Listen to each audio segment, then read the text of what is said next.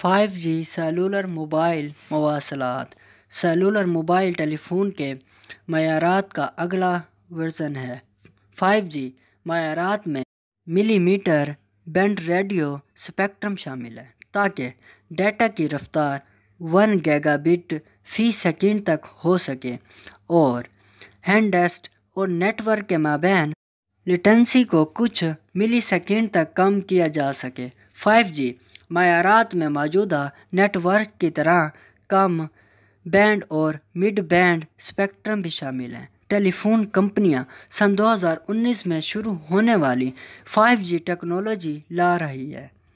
اس سے پہلے کہ سن دو ہزار دو کے آخر میں عالمگیر چارجر معیار ہر اتفاق کیا گیا ہو، صارفین کو ایک ایسے اڈاپٹر کی ضرورت ہوتی ہے جو اکثر برانڈ یا کارخانہ دار کے ذریعے ان کی بیٹری چارج کرنے کے لیے ملکیتی رہتا تھا۔ بعد میں بڑے برانڈ کے موبائل فون عام طور پر ایک منی یا مائکرو کے ساتھ کیبل کا استعمال کرتے ہیں یا سن دو ہزار بیس کے وسط سے انٹرفیس ایپل کا آئی فون اپنا واحد انٹرفیس برقرار رکھنے والا واحد اہم برانڈ ہے۔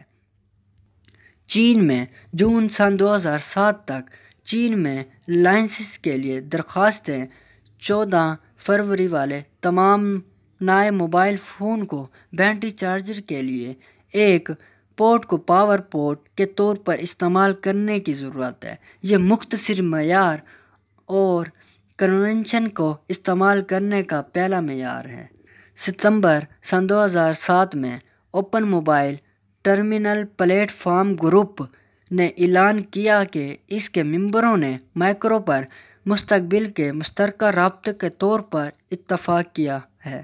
آلات جی ایس ایم ایسوسی ایشن نے سترہ فروری سن دو ہزار نو میں اس کی پیروی کی اور بائیس اپریل سن دو ہزار نو کو اس کی C T I a wireless ایسوسی ایشن نے مزید توثیق کی، جس میں بین الاقوامی ٹیلی مواصلات یونین نے بارہ اکتوبر سن دو ہزار نو کو اعلان کیا تھا کہ اس سے بھی اس کو قبول کر لیا ہے۔ یونیورسل چارجنگ سلوشن کو اس کے توانائی سے مؤثر ون چارجر فٹ بیٹرے ہوئے تمام نئے موبائل فون حل کے طور پر مزید کہا گیا ہے کہ مائکرو انٹرفیس کی بنیاد پر چارجر میں چار اسٹار یا اس سے زیادہ کارکردگی کی درجہ بندی بھی شامل ہوگی۔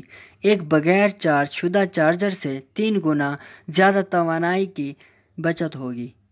اسمارٹ فون بجلی کی فراہمی کا معیار۔ جون سن دو ہزار نو میں دنیا کے بہت سے موبائل فون سازوں نے زیر اہتمام مفاہمت کی یادداشت خط کی ہے جس نے یورپی یونین میں زیادہ تر ڈیٹا سے چلنے والے موبائل فون کو ایک مشترکہ بیرونی بجلی کی فراہمی کے ساتھ ہم آہنگ بنانے پر اتفاق کیا۔ یورپی یونین کی عام تصریح بیٹری چارجنگ تفصیلات کا حوالہ دیتا ہے اور G S M A O M T P مواضع حل کی طرح ہے۔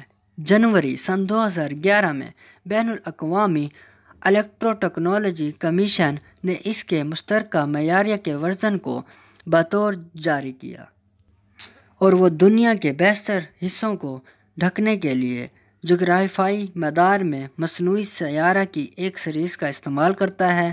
کئی چھوٹے آپریٹر علاقائی خدمت فراہم کرنے کے لیے صرف ایک یا دو مصنوعی سیاروں کے ساتھ اس طرز عمل کا استعمال کرتے ہیں۔